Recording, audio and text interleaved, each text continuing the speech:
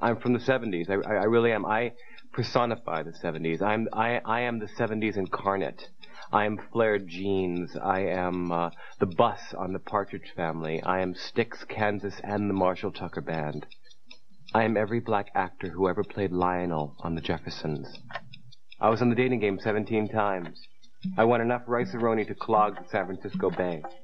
The Bachelorette came out, said, Bachelor number one, if you could be any kind of car in the world, what kind of car would you be? I said, used.